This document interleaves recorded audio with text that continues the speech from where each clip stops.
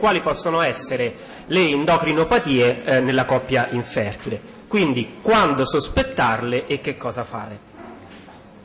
Allora, partiamo dal dire che il sistema endocrino è un sistema complesso dove tutti gli organi eh, si connettono tra di loro. Quindi non è eh, strano che anomalie di funzionamento delle maggiori ghiandole endocrine, come possono essere l'ipotalamo, l'ipofisi, la tiroide, i surreni e anche quindi le gonadi, possano causare infertilità, sia nell'uomo che nella donna. Cosa eh, importante è non dimenticarsi, insieme a queste eh, ghiandole maggiori, anche altre ghiandole importantissime come per esempio il tessuto adiposo. Il tessuto adiposo è in realtà un, un, una ghiandola assolutamente diciamo così diffusa ma poco conosciuta. In realtà è un vero e proprio laboratorio eh, endocrino.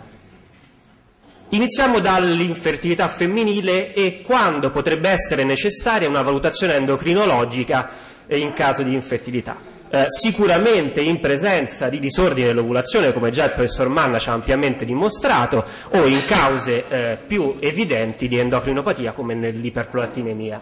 Partiamo eh, dal valutare i disordini che possono eh, colpire l'ipotalamo e l'ipofisi.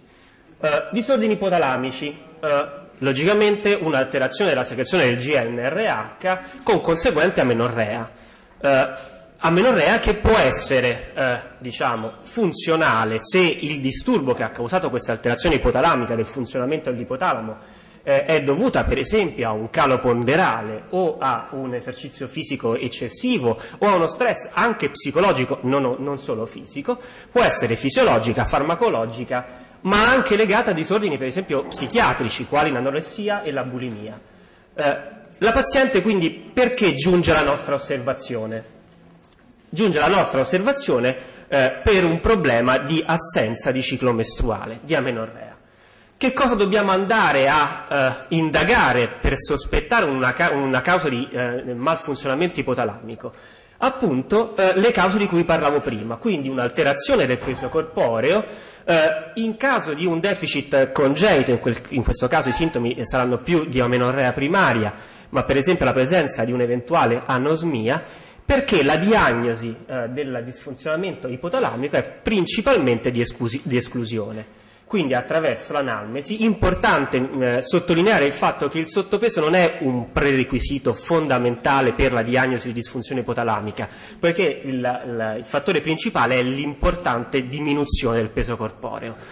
Eh, escludere fondamentale eh, le patologie infiltrative o, tum- o tumorali a, a, a, a carico del, dell'ipotalamo e soprattutto escludere, però questo è molto più facile perché la menorrea in questo caso non è acquisita ma è primaria, quindi la, la, con ritardo dello sviluppo puberale, un'esclusione di un ipogonadismo ipogonanotropo idiopatico.